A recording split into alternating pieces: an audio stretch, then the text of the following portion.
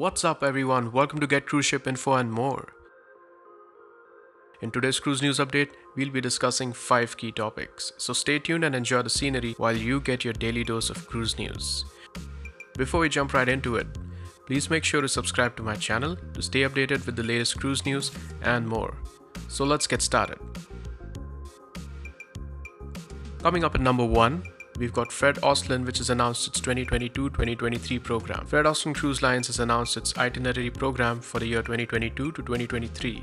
This program offers a total of 126 new voyages taking in 82 countries. They also include new regional departures from Belfast and London Tilbury. The program includes closer to home excursions around the British Isles and shorter 5 night breaks with departures from 8 UK ports London Tilbury, Belfast, Portsmouth, Southampton, Dover, Liverpool, Newcastle, and Edinburgh, with a number of ex UK sailings and fly cruise options for those looking to venture further away. The Fred. Olsen fleet will also sail into a number of maiden ports in 2022 to 2023, including Hakata and Nagoya in Japan, Crotone, Gallipoli and Monopoli in Italy, Lyngdal in Norway, and Louisbourg in Canada. Guests sailing the program's itineraries will be able to see the Norwegian forts and Canadian Fall, as well as experience Belgium, France, Denmark, and Norway. A major chunk of 2022 will be making the most of the beautiful British Isles with scenic cruising just as rewarding as the wonderful ports of call. For those looking to set sail on a shorter cruise, there are plenty on offer, each with the opportunity to experience time ashore with entertainment packed sea days and scenic cruising as well.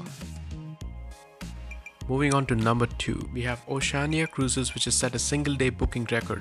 Oceania Cruises announced that the launch of its latest collection of exotic itineraries for the winter of 2022 to 2023 on the 3rd of March resulted in a record with the most individual bookings taken in a single day in the brand's entire history. Oceania had done a preview of the itineraries on 24th February ahead of the sales opening on the 3rd of March. Bob Binder, who's the president and CEO of Oceania Cruises, said in a statement that the tremendous response with the cruise bookings underscores the extraordinary demand for long and exotic cruise vacations.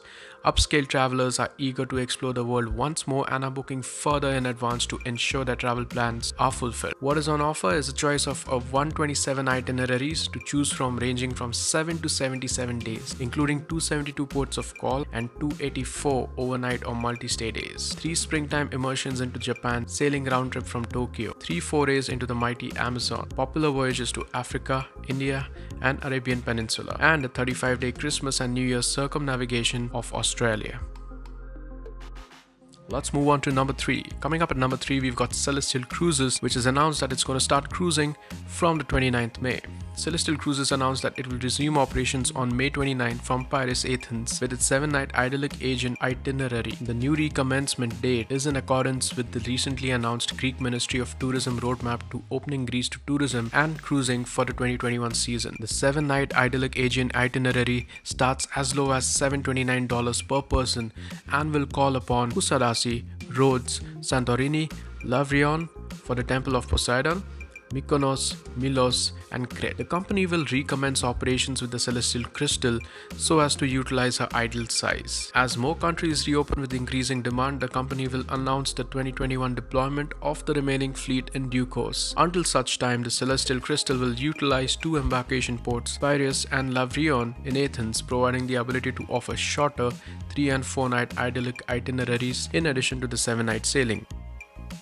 Moving on to number 4, we have Lindblad Expeditions which is confident about a June restart in Alaska, Iceland and Galapagos. Lindblad Expedition CEO Sven Lindblad said that the company remains optimistic that they will return to operation in June with the focus on Alaska, Galapagos and Iceland. Lindblad said that vaccinations will also help accelerate this demand. Looking ahead, Lindblad Expeditions mentioned that they're already well positioned with strong bookings for the second half of the year and throughout 2022. Sven also mentioned that the company is seeing strong new bookings from both returning guests as well as new audiences. Let's move on to number 5. Holland America has announced that they're going to extend their sailings through 30th of June. It's extending its pause of European cruise operations to include departures through 30th June 2021. The pause will impact cruises departing in May and June in Nieuw-Statendam, Volendam, and Westerdam, along with the collector's voyages associated with those cancelled cruises. Holland America Line is notifying all guests and their travel advisors of their options. Guests currently booked on the cancelled Europe departures will be able to rebook on an equivalent cruise in 2022 at the 2021 fare, with all cash and future cruise credit funds moved to the new booking.